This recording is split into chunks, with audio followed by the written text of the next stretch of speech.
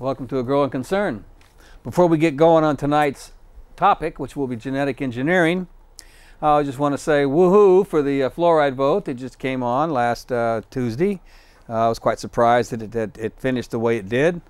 I expected uh, that it would be turned down, but I didn't expect it to be a three to two. And so uh, a lot of good work was done with a lot of people. I want to thank Clean Water Portland and I like to think that quite possibly the community media had a lot to do with that in this town because uh, it was being covered by KBOO, various cable access programs.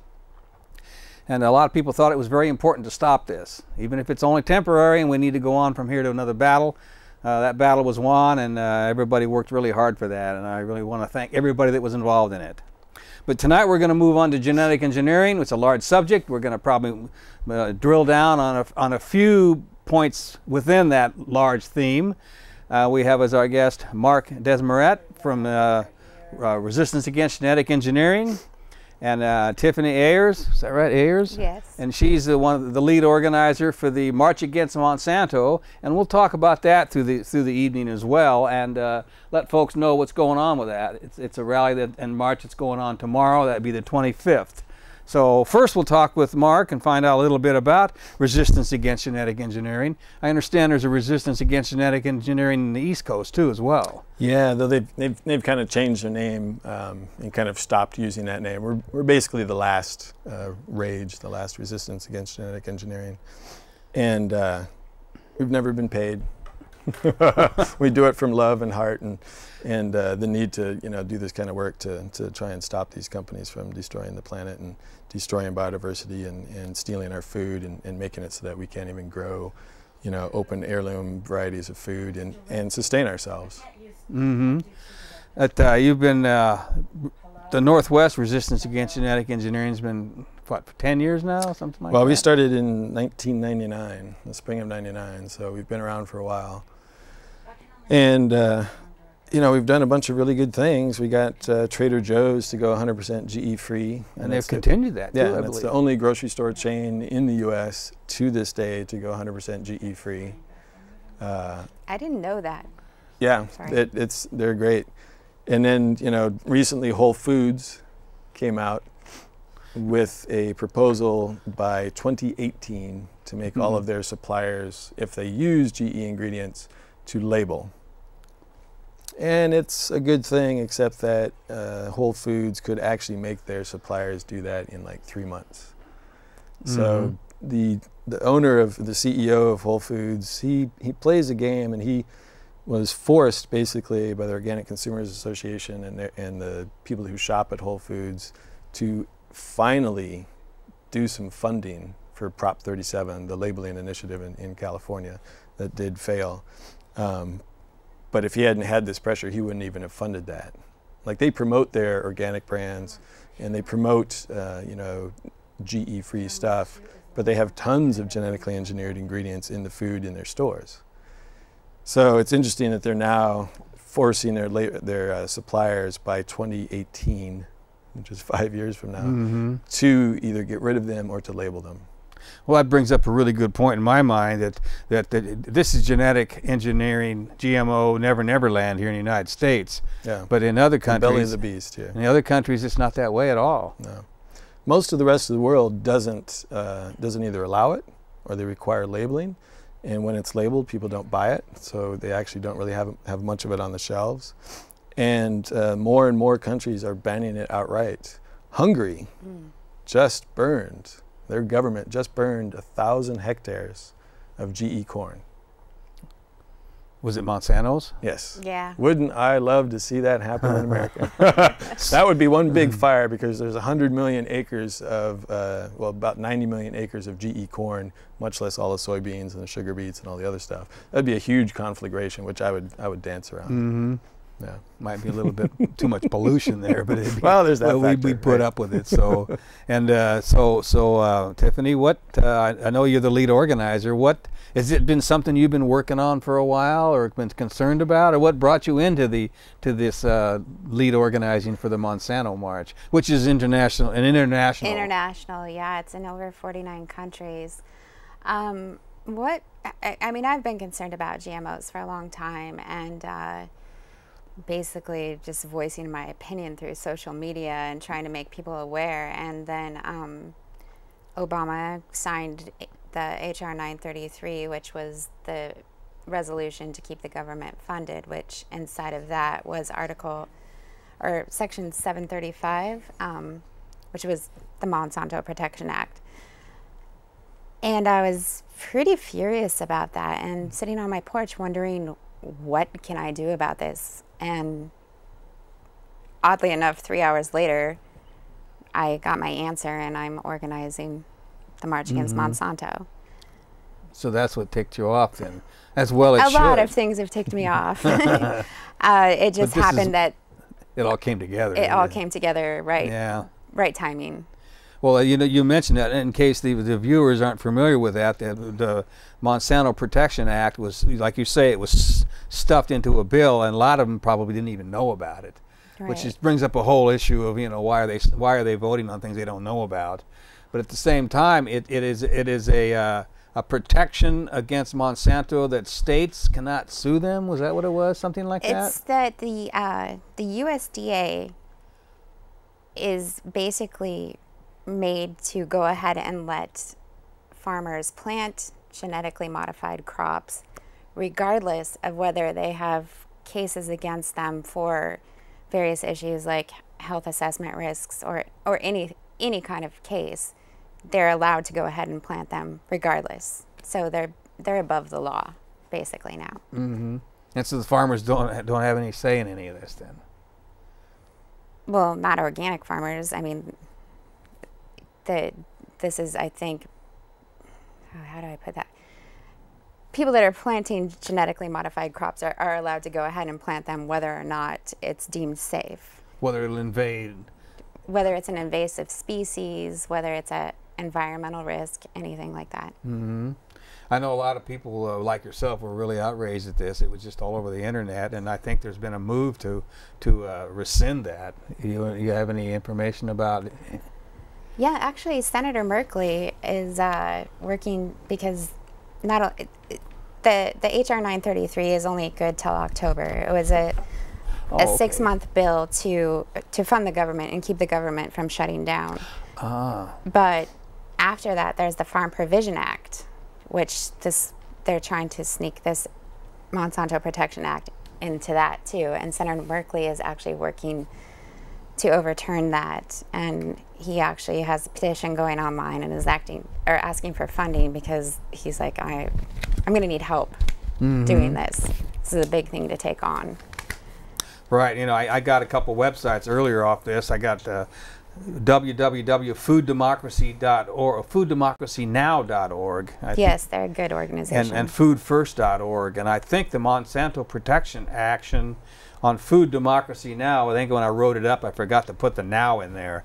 But fooddemocracynow.org, if folks want to get out there and go to the this website and you want to register or um, put in your your uh, your voice on this against the Monsanto Protection Act, that that would be a place to do it. But if you're if you're adept at Google, you'll be able to. Yeah, they need to put a now after democracy there. So food democracy now, and if you want if you want to weigh in on that, there's a lot of ways to do it, but that'd be one way to do it. And uh, so we'll, we can get back a little bit to that that rally, you know, as we go through the program. But uh, originally, I got on, I got got with Mark because we both share on the on uh, the board on BART. And at one of the meetings we were talking about, and I was asking him about these um, Franken salmon, which which has I've been getting emails and and uh, seeing things on e- uh, Facebook a lot about it, and I was curious about it, and I got digging around and found out this battle's been going on for years. 2010, there was like 30 different organizations that came out against this. So this is something that's been going on for some time, and and and and uh, it just seems to me that. It's bad enough that we have hatchery fish, but hatchery fish and franken salmon are not the same thing. I take it. No. so they engineered a, uh, a wild Atlantic salmon with a couple different genes from some other fish. One was a Pacific Eel. salmon and an eel pout. And one of the genes that they inserted is a cold tolerance gene, and the other one is a growth hormone, a growth promoter gene. So salmon really only grow about six months of the year. and so with these added genes, the fish are going to be cold tolerant, which actually allows them to grow during winter when they normally slow down their metabolism. And then the other um, growth or the hormone promoter enhancer allows them to grow. And the idea is that in 18 months, they'll be able to grow a salmon to the same size as a four year old normal salmon. And they call it the Aqua Advantage salmon. And it comes from a company out of Prince Edward Island up in Canada called Aqua Bounty. Jim Stotish is the, uh, the CEO of that, and this has been going on for 12 years. So they have, uh, they have a facility up there, they grew these fish, and then they've been, you know, done all these studies, and they've been applying um, to get deregulated status. Basically, deregulated means being able to go out and commercially sell it or produce it and, and put it on the market. Uh, for years, and we've we've been having uh, lawsuits against them. We've been having labeling bills. Alaska um, just uh, uh brought up a labeling bill to label GE salmon. They've also brought up uh, Begich and Lisa Murkowski a bill in Congress to actually ban GE fish entirely years and years and years ago, Oregon banned the uh, growing of GE salmon in the state in state waters. And so this issue has been going on forever, and it will be the first uh, GE animal produced for food, con- for consumption, mm-hmm. if it actually passes. And it's now in kind of the final stages where the EP or the FDA came out and they said, well, we're now in the final stages of, of approving this and uh, Aqua Bounty, which has been losing money for the last 12 years because they haven't actually gotten this product onto the market, and they have all these angel investors who keep investing millions and millions of more dollars to to keep them afloat. Um, so they're in the final stages, and you know, thousands and thousands of people. There's been a petition with over a million people who've said no, we don't want this. Thousands of comments when they had the comment period for the environmental assessment for the comment period when they first came out with the idea to deregulate. And now, um, you know, the Ocean Conservancy, Center for Food Safety, Organic Consumers Association, on and on and on, all these organizations, and especially Alaska. The Alaska senators, Republican and Democrat, are completely against this because they know that if this genetically engineered salmon gets out into the wild into the waters, it will decimate our already impacted and severely declined uh, wild salmon through species. interbreeding. Through interbreeding, they've they've done these studies where 60 of these fish, if they were to get out into the, the open water, could within uh, 40 generations, basically about 40 years, would make the wild Atlantic salmon extinct. So the company says, well, we're only producing sterile female fish. Mm-hmm. And that's how the FDA is actually regulating this. Oh, they're all going to be sterile, so no big deal. However, sterility um, function doesn't work all the time. And even in the Aqua Bounty's documents, 95% of the time it works. And we are talking about millions, tens of millions yeah, 5% of fish. Of so 5% millions, of yeah. tens of millions is, and you know, they also say that um, because they're having they've been having such a regulatory hurdle to to cross in America, they're going to grow the eggs in Prince Edward Island in, in uh, Canada, ship them to Panama on an inland uh, facility to raise those eggs into smolts or alevin, and then from there, and, and, then actually to raise those all the way to adulthood, and then ship that dead fish, that meat, that product to America. So that's what they say publicly. However, we have uncovered documents that they have uh, pre orders from around the world for eggs, and including companies in America who want to grow eggs. So their strategy or their theory is let's get it approved with this two facility thing. One, they're going to produce eggs in Prince Edward Island. They'll ship those to Panama. It'll be inland. There's no way it could possibly get into the waters down there. And then once that is uh, approved, deregulated, all bets are off. Then they will start shipping eggs and alevin to uh, companies all over the world. And how do they grow fish? How do they grow um, farmed salmon? They grow them in open nets in the ocean. And every single year, at least 2 million of these fish escape. The storm comes along, breaks the net, all these fish escape. And these are basically superior fish. They're going to be bigger. female uh, wild salmon are going to want to mate with a, a larger male fish, and um, and the female salmon that would get released in these uh, escapes uh, can outcompete because they grow all year long. Just simply from size. Simply from size and simply from the fact that they uh, can eat all year long and will get bigger and will outcompete the native fish. So their idea, um, I mean, it's a smart strategy on their part, but we are going to win. Um, if the FDA actually does approve it, uh, there'll be a lawsuit, of course, and we've already had a couple lawsuits. Uh, they're now in the environmental impact statement process, so they, we've required them or forced them to do an environmental impact statement. However, that statement is limited because they're only looking at these two inland facilities. Mm-hmm. Even though anybody who's ever read anything from the Aquabounty website or you know their press releases, whatnot, they know that this company is going to do that to start with, those two facilities, and then ship them all over the world once they get deregulated status. Right. So, is, so they're doing the in, in, environmental impact statement. So they have already taken public testimony. Yeah, testimony was over on April 29th. So it doesn't people can't weigh in on this. Not anymore, right? But there will be a lawsuit if the FDA approves it. And the other crazy thing about this is because the the regulatory agencies really didn't know what to do with this GE. It's an, it's an animal, and it's going to be for food. Um, there are GE goats out there. There's a bunch of other genetically engineered animals, um, but they're more for medicinal purposes. Like the GE goat produces a, a hormone in its milk that um, can help, um, you know, diarrhea and other other issues. So they're going to make, uh, you know, medicine out of that stuff. But with this case, it's a food, and of course, it won't be labeled um, unless we actually get labeling legislation. And the FDA has decided to regulate it as a new animal drug under a veterinary process.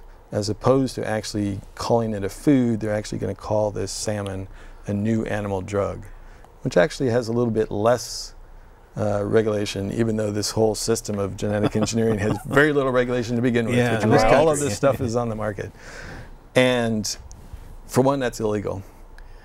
That process that they've decided to go through is illegal. They cannot and should not. Who has decided to go through it? The FDA. The FDA. Because okay. they were just confused what to do with this, you know, this GE animal, and they decided to regulate it or look at, you know, look through the regulatory process as a drug. Well, who does the deregulation for that? Like with the USDA and the GMO plants, it's APHIS that does Right, it, the and- risk assessment. But who does it for the fish? Well, in this case, it's F- FDA and APHIS. oh, APHIS But does that as well. Yeah, but they've decided to look at it as an animal drug as opposed to actually food, which is what it is. So that's a lawsuit right there then. Right.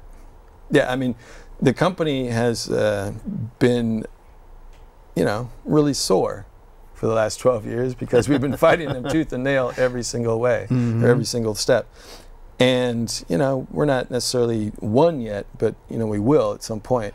And it's cost them tons and tons of money. These people have burned through hundreds of millions of dollars, which is why they just got a $6 million infusion from an angel investor to keep them afloat because they, they were losing tons of uh, millions of dollars every year because their product hadn't been on the market yet. They weren't actually making any income. They should have spent some of that money up front to see if it was how people would react to it first. Well, But uh, I guess that would be too, too well, now they reasonable. know the reaction. Millions of people have commented, we don't want it. Mhm. S- The whole state senate in Alaska doesn't want it. Oregon has already banned the production of it in the state. All sorts of other um, senators and legislators are against it as well, as well as numerous other countries around the world. Mhm. Yeah. Well, well, Tiffany, were you were you aware? You seem like you were aware of all this already. I was definitely aware of, of the salmon and aqua bounty. I obviously don't have as much information or knowledge about that, so I'm actually being enlightened a little Mhm. bit here today. I definitely didn't know APHIS was the same regulatory agency Yeah. regarding that. hmm Well, uh, you said that the the, the Monsanto uh, was it the Protection Act or whatever that was, kind of tipped it for you. Well, what was I mean maybe one of your other pet peeves with Monsanto along? Because there's just so many to talk about, from seeds to to Well, uh, intellectual property. I mean, it goes on. They've been poisoning us for years. I mean, hmm they're a chemical company disguised as an agricultural company. And basically they're patenting life so that they can peddle their chemicals. Uh, they they they started out in 1891 in St. Louis, Missouri. Um, they were responsible for the trigger for the atom bomb. Um, Charles Allen Thomas was a scientist that actually discovered that in the Dayton Project, which was linked to the Manhattan Project. Um, they're also responsible for DDT, which was supposed to be good for me, and they sprayed it on children. Mm-hmm. You know, And just about killed our national bird, yeah. national emblem, I should say. They are responsible for uh, Agent Orange. I mean, them and Dow Chemical actually together, um, who both are actually working on uh, a new thing because glyphosate, the Roundup, The Roundup isn't right. working anymore. So Dow and Monsanto are, are coming together. And 2,4-D, which was half of Agent Orange, is, um, or Dow's half. Monsanto had 2,4,5-T. But they're going to mix the 2,4-D with the glyphosate with this Colex-D technology, which is a proprietary blend. So nobody really knows what it is. And that's, that's waiting uh, deregulation right now. Mm-hmm. So, I mean, sorry, I'm nervous. I don't talk on TV much. But you know, you, you know, you're passionate about this, so there's a, you know, there's a lot, a lot of feeling that comes through this when you talk, and and, and I'm sure the viewers can, can see that. And uh, like Marcus said, that this this has been uh, pretty much open market for genetic engineering, and it's because of Monsanto and what are some of the others? There's Dow, Syngenta, Bayer. BASF. Pfizer. Uh, No, Pfizer. drug, but they're all related. I mean, it, they all start from oil companies, and then there's divisions off of these oil companies, whether they're agrochemical or just chemical or uh, pharmaceutical. They they all stem from one mother. Why is it they, they, they stem from petroleum? Yeah, they do. They- They, they all, all- they're all from made from petroleum. petroleum then. Yes. The organophosphates or whatever these are these are called. Yeah, that's true, and I know that the uh, 2,4,5-T was banned. From what I remember, it was the it was the uh, it, 2,4-D would kill the uh, deciduous, and the 2,4,5-T would would be killing uh, like evergreen trees and things. And why they took one off the market, not the other, you know, I never did understand that. He- Well, they both have byproducts of dioxin, Right. which is known carcinogen.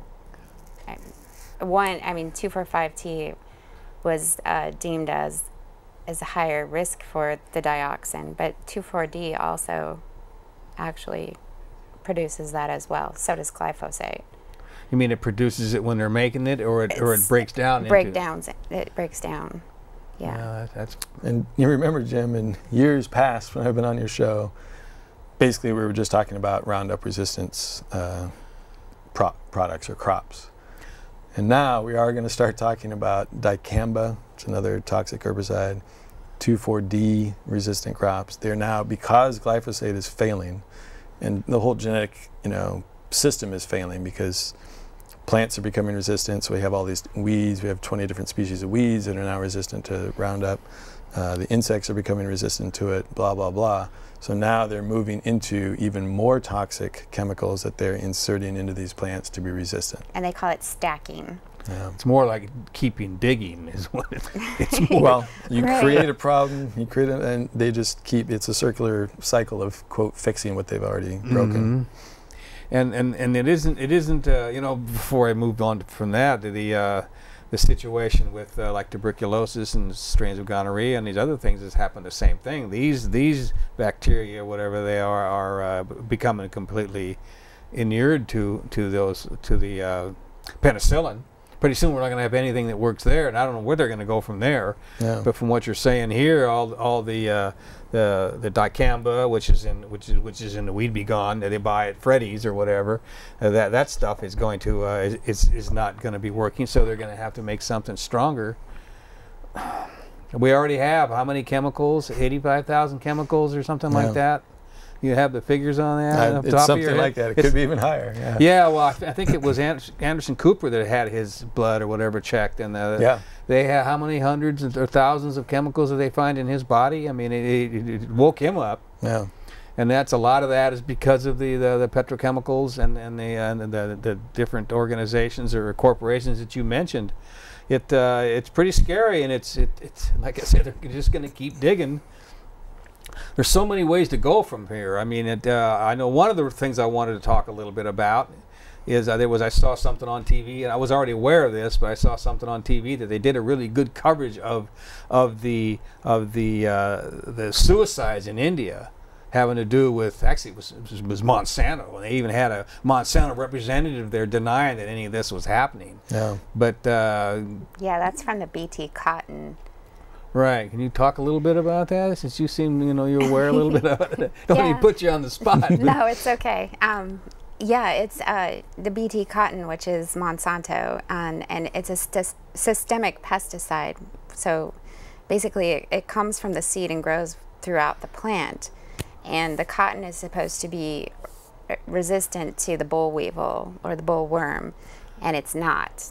They, there's superbugs, and they're they're destroying people's crops, and so these farmers are having to buy more pesticides and more pesticides, and it's not working, and they're getting so in debt that the statistics on this is that every 30 minutes an Indian farmer is committing suicide. That's how many of them are actually killing themselves because they can't afford this. Mm-hmm. And so what it is is that the this uh, what is it Thuringia or something like that BT. Bacillus thuringiensis. yeah, it's it's inserted in, in, in genetically inside the uh, the corn, and then it it, uh, it supposedly has this killing properties that things that eat it as the corn plant grows. Not corn, it's actually cotton. Cotton. But it's the same thing with corn too. In- in They- this case, they yeah, do it's with, cotton. with the corn. I, that's the one I was more familiar with, and and so they not only have to to uh, if they, if these crops fail, they also have to buy the seeds again too. Mm-hmm. And this goes on year after year. And if I understand it correctly, you're saying that after they get piled up so much debt, that the Indian farmers uh, over there uh, commit suicide. Yes. And what happens to their family? Well, I the interesting know. thing about India's uh, laws is that the man holds the debt because he went to the money changer or the money lender and, and took out a loan to buy this expensive seed and to buy this expensive herbicide. And then the crop fails because the bollworm is resistant to it at this point. And and the, the cotton actually doesn't grow that well there anyway, the, the, the variety that they've introduced. And the interesting thing about Indian law is that when the, the farmer kills himself, he also kills his debt. So that is a main reason, or one of the main reasons why these men, they don't obviously feel good, right? so they're killing the debt. killing themselves, but they're also not leaving their family Ah. with this crushing debt. And in Indian culture, if you don't have a husband and you've just become divorced, like you can't remarry. I mean, there's you know a lot of cultural problems that happen when these these men kill themselves. So these women um, may not get to keep the land, you know, and all these other aspects to it. So it's this horrible um, epidemic, Mm-hmm. and it's literally caused by Monsanto introducing, forcing into the Indian uh, agricultural system these BT cotton um, varieties that aren't working. Mm-hmm. And of course, you ask any entomologist when you create Roundup ready corn or BT corn or BT cotton, um, you have that pesticide in that plant, in every single cell of that plant, 365, well, however long the crop, crop cycle is, 24 hours a day. Some insects just aren't going to die because they're naturally resistant. Or they the other just one- get a little bit of it. Right. All the other ones will die. Well, the ones that reproduce are the ones that are resistant. So Monsanto is actually creating resistant insects. And of course, BT is a great product that organic farmers get to use. So not only are is Monsanto destroying um, agricultural opportunities for those who don't want to go organic, but for organic farmers who don't want to use these toxic pesticides, they can legally use BT on their crops, but they are now unable to do that because these insects are resistant. So you're saying that organic farmers can use the BT? Yeah, I Yeah, didn't it- know it's- about that. it's- I didn't It- either. Yeah, it's actually, I mean, it's it's a common soil bacterium, and they just um, and gather it up, and, and you can use it. Um, it's it's a non, uh, it's not nearly the, the BT is not nearly as lethal as like a glyphosate. It doesn't, you know, mess up the water and all that kind of stuff. It's very targeted actually. And that's the difference also with either conventional farmers or with organic farmers. We spray BT when we need it. So we have an infestation of bugs and then we spray it. With the with the BT crops, that pesticide is out there 24 hours a day. And so when we spray when we need it, once or twice a year maybe or maybe not at all, those insects don't become resistant to it. Well, isn't BT is a neonic, isn't it? No. No. Mm-hmm. Okay. What's neonic?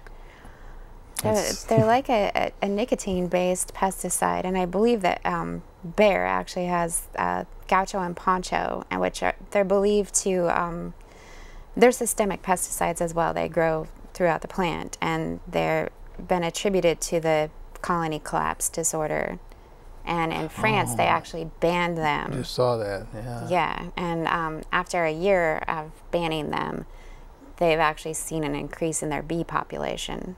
Funny thing about that, yeah. So and we're just about to approve another neonicotinoid herbicide here in uh, America. And we've been having colony collapse here too as well. Yeah. Oh yeah. You know, I was actually talking to someone the other day, and. Uh, somebody was talking about this India, and then somebody brought up at the table that this is also going on in China, and uh, it's the women that are killing themselves. Hmm. You familiar with that, that at all? Hmm. Yeah, I meant to look that up a little bit. I was hoping you might know something about that. I, I, but then you know, viewers out there may want to Google that. That it's, it's it was the men in, in India, but the women in China, hmm. just because of the different cultures. right. But that's you know that's that's terrible. Uh, that that that is happening at all. I did hear something about China um, destroying three Monsanto shipments or something like that. Just in the last couple days, I haven't had time to read it because I've been mm -hmm. extremely busy. But, people keep sending it to me, and I mean to read it. Um, I don't really know what that's about, but well, you're not going to see it on the news, so you're going to have to no. dig around on the I internet. I don't watch regular news. Mm -hmm. well, and you know there are these victories around the world where Hungary just just burned, and they have seen awesome photos of these fields of corn burning, and and uh, Spain and France and all these other countries. They continually test shipments of grain, especially from the U.S., and many of them don't um, allow the import of GE grain, and so they find them, and if they can't actually ship them back to the U.S., they'll burn them um, in Sri Lanka, you know, all these different countries ban um, the importation and the selling of uh, GE foods. Japan doesn't like our stuff. Sri Lanka doesn't like it. Tons of other countries don't like it. So really, the majority of uh, the food that we, the GE grains that we produce in the U.S. are fed to our own animals, sheep, mm -hmm. goats, pigs, cows. Um, so we're we're constantly consuming it, and the reason is because they can't really export it to too many countries. There's a few countries that don't mind, right? But the majority of them don't.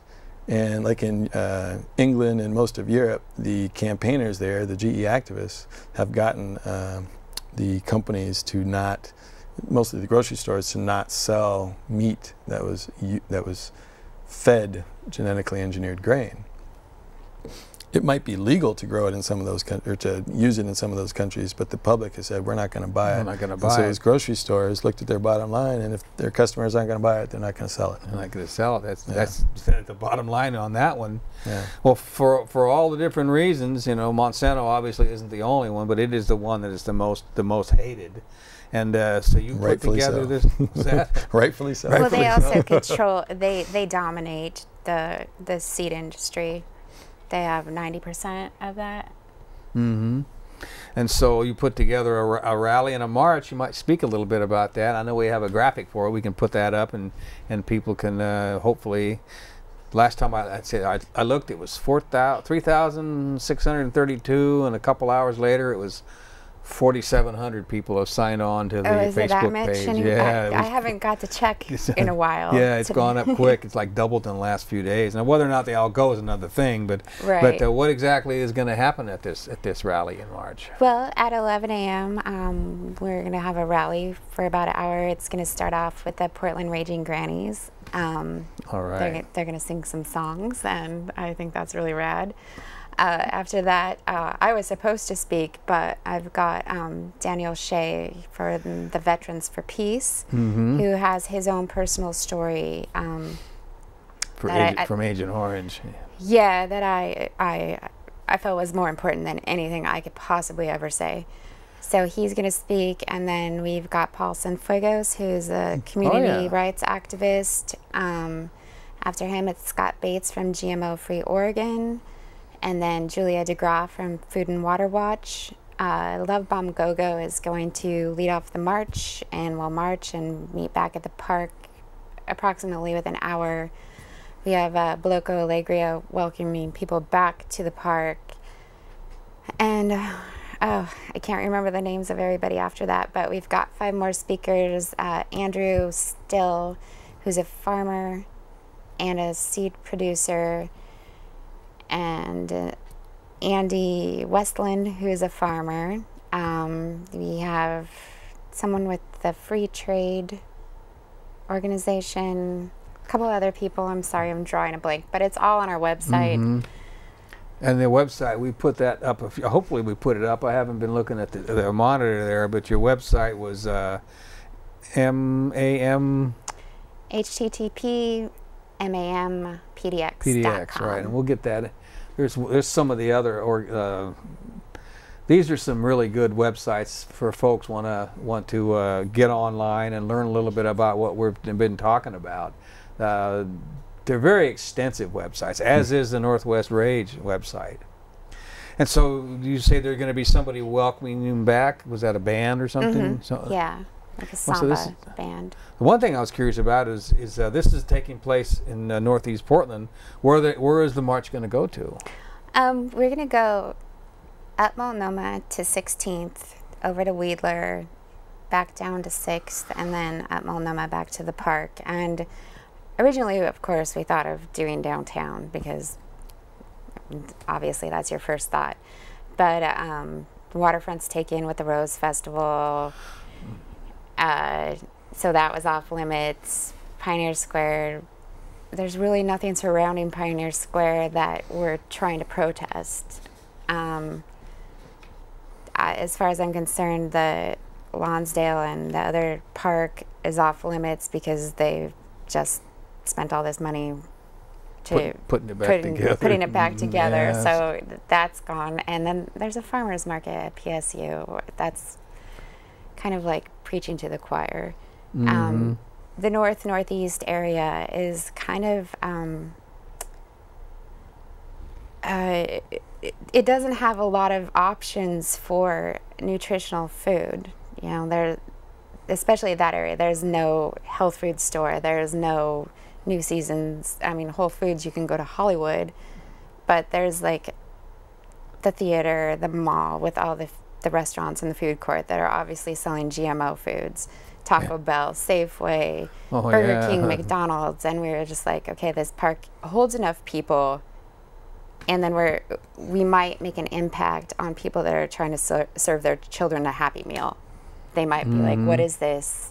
Hey, there's a band. Maybe we should go check this out and, and Yeah, learn something. And hope to learn something as well. Well, I think that's a very good idea. And and, uh, and the march, you know, I was wondering if we are going to march downtown. That'd be a long march for for some of the people that are going to be going. but- Well, it's a permitted event, and going across the bridge uh, requires more funding than we actually had Yeah, available. that's a good so, point. Yeah. Yeah. And talking about like these happy meals and whatnot, like people should remember that genetically engineered foods are kid tested, but not mom approved. the FDA does not actually require any safety testing. And in fact, it's all of us tested, and none of us have approved of it. hmm So what? Gen- say, say, just take you know McDonald's or any any of the any of the fast food. What genetically engineered foods would would they be serving? Oh boy. We don't have enough time. right. The, the meat was fed GE corn. The, the cows were fed GE corn. There's, of course, lots of antibiotics that the cows are fed as well. Um, basically, any, anything soy. I mean, unless you know that you're getting certified organic soy, soy is a GMO crop. Mhm. Uh, corn, corn's a big one. Canola oil. Those are things you have to look out for. I mean, I I remember in the 90s, soy was deemed the, the superfood and that you should eat Yeah. it. And I was eating tons of it. And now it's like I try to avoid it unless I know it, where it came from. Well, and since they mix it all together, it's really difficult to know. Yeah. At least that's what I understand. They mix this, the genetically engineered with the non-genetically engineered, unless it's specifically held out, like you say. Then, then you're you're getting it. Well, basically, then it- you know, because don't they use corn and, and soy for fillers in a lot of the foods? hmm And they make the, the the other unfortunate aspect that's slightly hidden for a lot of people is almost all vitamin C is genetically engineered. There's only about four different companies in America that, that actually produce the mass quantities of vitamin C. I've never heard that. And you can make vitamin C out of plants. And so the soybeans, the canola, and the corn, and a lot of other vitamins. Um, any of your soy protein isolates, any of your whey powders, not the whey powders, well, the whey with RBGH milk. Um, so a lot of your vitamins, even though it might be a really cool company, they're all sourcing. There's just only so many of the huge manufacturers of vitamin B or vitamin A or D and whatnot. And they all get different labels when they ship them to somebody and they put on or put in their other ingredients and have their label. So a lot of your vitamins are engineered as well. It's totally new to me, and I'm, Yeah. I'll bet it's new to a lot of the viewers as well. I always picture vitamin C rose hips or something. Well, it should be made out It of should- rose hips, yeah. organically grown rose hips. You Yeah. get the flower, you get the smell, and then you get the Can't vitamin you just C. eat your roses? Well, you can as well. You can eat your roses. well. All right. yeah. you well, can eat your dandelions too. So, Mhm. Yeah, except unless they've been sprayed. right. So, well, no, we've talked a lot about the, the franken salmon and and uh, all the different uh, you know foodstuffs that the that they have these genetically. Uh, uh, whatever they are put in them. I know they tried to put a fish in a tomato a while back or something like that as one of the first ones. But uh, I know that you were on the programs in the past, and, and and one of the major things that you would want to talk about was uh, franken trees and and grasses. And this is like one of the grass capitals of the world, Yeah. growing seed and and I guess it's mostly seed, but they do grow sod. Now, the issues with that, I would think, would be, uh, you know, adulterating the crops around that. And is, is that still is that has that been stopped or is that still going on? Uh, unfortunately, the genetically engineered bent grass, which was designed to be resistant to Roundup and then designed to be sold to golf courses so that they could just spray Roundup and not have any weeds in their, in their greens and, and teas. Um, that had a field trial in Madras, Oregon, uh, a number of years ago, and the seed and the pollen from that field trial contaminated eastern Oregon, and it is still to this day spreading and contaminating another. There's 12 different species of bent grass and other grasses out there that can cross pollinate with it, and so it is continuing to contaminate. They're still finding um, areas along ditches and all over the, the grasslands and farmers' fields and whatnot where they're still having this uh, contaminated uh, bent grass. So that is just spreading. That would take a massive cleanup. Um, they've cleaned up some of it, but it, it's basically out. It's done. Mhm. And the other issue is GE Trees and ArborGen, um, the uh, massive uh, uh, GE tree company, has done a whole number of field trials on freeze tolerant eucalyptus. So it's cold tolerant. So it can be grown in area. You know, it's usually from really hotter climates, Australia, and whatnot. Yeah. And so they want to grow it in the U.S. to make paper, toilet paper, all these different things. Biomass is a huge aspect of it. You're going to have a fast-growing, freeze-tolerant tree that can grow all year round, whereas Yeah. in other areas would only it would shut down during winter. Isn't that like poplar? Don't they use that too as well? Exactly. Yeah. And they've done all these field trials. They let a bunch of these field trials actually flower, so who knows how much cross contamination there is already. Um, we don't grow a lot of eucalyptus in here, but there's a lot of landscape species of eucalyptus out there. And ArborGen is uh, has petitioned the uh, USDA to allow deregulation and allow them to grow millions and millions of these freeze-tolerant um, transgenic eucalyptus trees in the in the south in seven different states in the south. And starting today there is a protest uh, against a biotech tree conference and so there's going to be who knows what all is going to happen but some really you know kick-ass people are down there and they're going to have some protests and probably some arrests no it's down in um, uh, north carolina or south carolina and uh, it's going to last until uh, June 3rd. And so they, people, if you want to check that out, can go to stopgetrees.org. And the problem with this is they suck up lots of water. They're extremely flammable. Uh, people in uh, South America and Latin America who have uh, plantations of GE trees call, call, them the green desert because they suck up all the water. Their wells run dry, their rivers run dry, etc. Uh, they're extremely flammable. They do cross contaminate with other species, and you can cut them down, but they resprout. So even if they, you know, the industry says, well, we're clear cutting them obviously to make this paper, there's still, you know, what if a farmer goes out of business and there's all these stumps? They will resprout and continue to contaminate the environment. So they're basically deciduous then. Yeah. Yeah. Well, Yeah. I know there's a lot of them around San Francisco, Yeah. Yeah. and that's that's doesn't get really cold there, Yeah. so they, they probably thrive there because of it. Yeah, and they, you know, they deregulated a GE plum a few years ago, and that actually hasn't been grown. Nobody's actually decided to, to grow it because it's really the disease that they uh, uh, plum spot virus, I think, isn't a big deal in the U.S. So they actually did deregulate. Uh, the eucalyptus will be the second tree if it actually gets deregulated. We'll have a lawsuit against it as well on that. And then Okanagan Specialty Fruits up in uh, British Columbia is also now petitioning Canada and the U.S. to deregulate or commercialize a non-browning apple. You know how Mhm. bad it is when you So- slice that apple and it Mhm. sits out there So for 10 just- minutes and it turns a little brown. It's just cosmetic. Then. right. Mhm. And thankfully, the Canadian farmers and especially Washington State, you know, a huge apple state, uh, they've all said we don't want it. So it's it's in the regulatory process or the deregulatory process, and public opinion is against it. Simplot, another new product that might um, is in the pipeline. You know, we we stopped GE potatoes, mostly because um, well, there's obviously a lot of public activism against it, but uh, McDonald's, the potato that they made uh, didn't. Uh, I think it was called the new leaf potato. Didn't hold up to McDonald's standards for Oh, that's golden. French fries and all that. And well, they were the one, the, the biggest potato purchaser in the world. right. People like their French fries. Right. And so Simplot, which is one of the largest growers, if not the largest grower of potatoes in the world, grows a lot of land in, in Idaho and so, southeast Oregon. They have their own laboratories, and they are coming out with, or have come out with a potato called Innate. And they're using genes from within the potato species, not transgenic, not different species of plants or animals.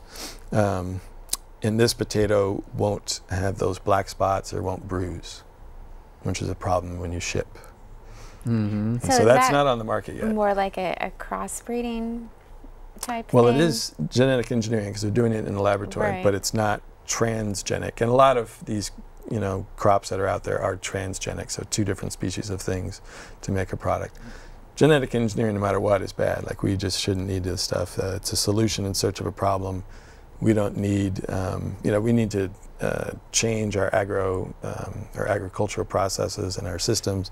Get a lot more small farms, a lot more local, a lot more organic for any reason that the industry gives that uh, we supposedly need this technology, we've already got a sustainable method that in some cases we've been using for 12,000 years um, to do the same exact thing. Just like golden rice.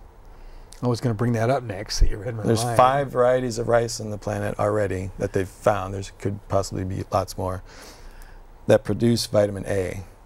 And the golden rice only produces beta carotene. So when you eat the golden rice, you have to also have oil and fat in your diet to produce or to make it turn into vitamin A in your body. We already have five varieties of rice that produce vitamin A. So it's a billion dollar boondoggle. It's like two billion dollar boondoggle already. They've been trying this for 15 years. Still not on the market. They're doing field trials in the Philippines. Most of the Asian um, folks that they've done, um, whatever you call those tests, where they give your product, they're like, well, who pissed on the rice? Because it's yellow. and they eat white rice and brown rice and red rice. There isn't any yellow rice. So they think that the rice is contaminated and they don't want to eat it anyway, much less to get the recommended daily allowance of vitamin A from eating this golden rice. You have to have fat and diet and then and protein, and that comes from people who can afford it. and a lot of these people can't. hmm I understand that a lot of these genetically engineered products and things that have come out, they they uh, they say that it's going to feed the masses, and you know it, it doubles your your uh, your yields in the first year, but by the fifth year, it's half as much. I don't remember why, but I remember that that, that is causing problems, and it's you know people losing their lands because their yields are going down. Well, and part of that is the industry claimed all this stuff. We're going to feed the world. However, they didn't make any of these GE crops produce more food. They made them resistant to herbicides or produce their own pesticide in every cell of the plant. They didn't increase any nutrition. They didn't make it more healthful. Um, they are trying to come out with some omega 3 uh, products that are higher in omega 3 and less in other things. But the industry never started out that way, and they're 99% of it is still resistance to an herbicide or having a pesticide inserted into the plant, you know, 24 hours a day. And the yields are decreasing because you're getting these resistant weeds. Oh, okay. So not only are not only did the FDA allow and bugs. Yeah. So not only did the FDA allow an increase in residual levels of uh, Roundup on our food because we spray it so much, or these farmers spray it so much now that the plants are resistant to it. But now we have all these species of weeds that are resistant to the Roundup, so they're also spraying dicamba or all sorts of other um, herbicides Mhm. to deal with this added problem. So this genetic engineering is actually adding problems for these farmers and not not really helping them at all. Mm-hmm. Well, in the monoculture, mono, mono, uh, monoculture, excuse me, sorry, uh, system of growing things depletes the nutrients from the ground. You're supposed to rotate your crops and grow things next to each other to, to keep the pests down. And when you're growing one crop in a huge area Mhm. year after year after year, as well as adding pesticides to it, you're just depleting the natural resources that are, are there anyway. That's kind of what led to the Dust Bowl. Right. that whole that whole thing. Well, you know, one one of the things that I've got against Monsanto isn't isn't isn't what they're doing with genetic engineering, although that's a big issue. It's how they conduct themselves. Uh, they have discouraged and persecuted people who were writing articles and books and, and stopped these things from happening. And there was a fellow named, uh, was it, I think in Canada, named Percy. Schmeiser, yeah. Yeah. You know, you familiar with that story? Yeah, Yeah. He was growing canola, and their canola blows in the wind, and it came into his crop, and then they decided to sue him and basically took everything he had. So he was growing non Mm-hmm. genetically engineered, and they sued him for stealing gen- genetic engineered was something Patent infringement. patent infringement, even though that, that, that it was their He did fault. for- not grow their yeah, stuff. it blew into Right. his, and you know, it was, it was things like that that I think, uh, you know, aside from the fact that what they're polluting the planet, uh, their their predatory practices is, is is just to me just uh, terrible. Uh, that was the one that stuck out the most, but uh, there's been others as well. And I, I can't think of any offhand. I don't remember the people's names, but there was a book that was stopped.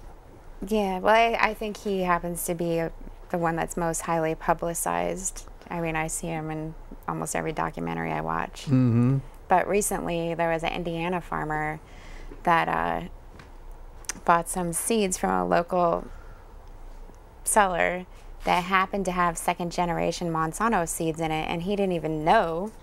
I mean, they weren't labeled Monsanto, and I'm not exactly sure how Monsanto found out, but they've sued this guy for like $84,000.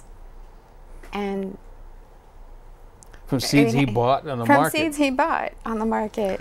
Yeah. Well, he was a smart farmer. He went to a silo and he decided to get some seed that you know all these people had, had sent it to the to the grain silo, and he was going to do another crop of uh, it was soybeans. yes, he was a Um, soybean farmer. And uh, so he bought it much cheaper from the silo, planted it, and it did happen to be Roundup Ready soybeans. And he fought it. He took it to court. Monsanto, you know, sued him, and he took it to court. And it was a Supreme Court decision that just came out. And even though it's they, they call it second generation because the original farmer who grew those soybeans had to sign this contract, do all these things to legally, you know, grow this GE crop. but then it's then he's done and he ships it to the silo. He has nothing else to do with it. And the silo, of course, you know, ships it into the feed lot or feed market or whatever. And so this guy was pretty smart. He's like, I'll get some cheaper seed and, and mm-hmm. plant it. Well, Monsanto found out about it, and the Supreme Court said that their patent protection basically extends forever. So even though it should have been quote off patent because this original farmer did his you know legal rights and legal Mhm. duties and then sold it and that should have been the end of that patent protection for Monsanto. Now the Supreme Court has yet again uh, ruled in favor of Monsanto and their patent protection seems like from this case just kind of goes on and on and on. They can sue anybody. Mm-hmm. Well, there's there's um, I'm thinking maybe it was Hillary Clinton that was a lawyer for Monsanto. Yeah, she worked time. for the Rose Law Firm that represented Monsanto. Right, so they know they've. Uh, you know the story better than I, but I know that Monsanto had. There's been people who's worked for Monsanto that has gone to work for the government, wrote legislation favoring Monsanto, and then once it was passed, they got back out. Do I have that right? Still happening to this Still day. happening. The head of the FDA is an ex Monsanto Yeah. executive. His name is Michael Taylor. He's Mhm. also the one that was responsible for the bovine growth hormone in the milk. Which nobody in the world wants.